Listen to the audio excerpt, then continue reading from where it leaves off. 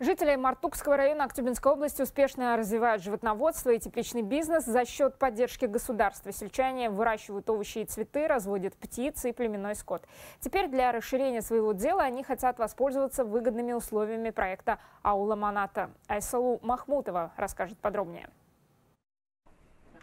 Идея круглогодичного выращивания овощей и цветов посетила в 2019 году, признается Валерий Лагвиненко. На свободном участке двора по видеоурокам из интернета обустроил теплицу. В рамках программы «Дорожная карта бизнеса» выиграл грант на сумму 600 тысяч тенге. Деньги потратил на приобретение и установку системы отопления. Делаем закладку в зиму и потом весну. А, получается два оборота за год. Сейчас на луке будем экспериментировать. Приготовили. И э, весенний сезон занимаемся однолетними культурами, это цветы. На следующий год будем планировать тоже теплицу еще. Угу. Ну, уже не на территории двора, а отдельно. Угу. Земельный участок будем просить.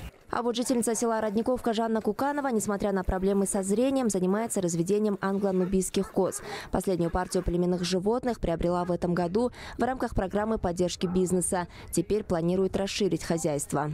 Если одна коза даже плюс минимум 5 литров будет давать, это в день 5 тысяч тенге. Я считаю, что это очень даже хорошо. Они дают молоко, масло, сыр, сметану. Все точно так же, что дает корова. Только в жирности побольше и полезности больше, вот так скажу. Козляты очень дорогие, и сюда к нам приезжали с Уральска, с Атрау, прям сюда, в Родниковку, забирали козлят. 11 продала, один умер. Вот. В этом году гранты на открытие собственного бизнеса получили еще трое жителей Родниковки. В селе заработали ателье, парикмахерская и шиномонтаж.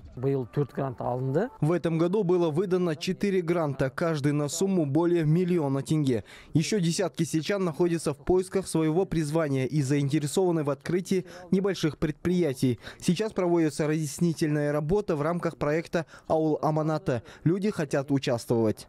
Финансовую помощь на развитие предпринимательства в этом году получили более 50 жителей Мартукского района. Молодежь и многодетные семьи в селах открывают мебельные цеха, развлекательные центры, пекарни и другие виды бизнеса. Еще десятки сельчан в ближайшем будущем планируют стать участниками масштабного проекта «Аула Маната». Айсулу Махмутова, Булат Молдогалиев, Актюбинская область, Хабар 24.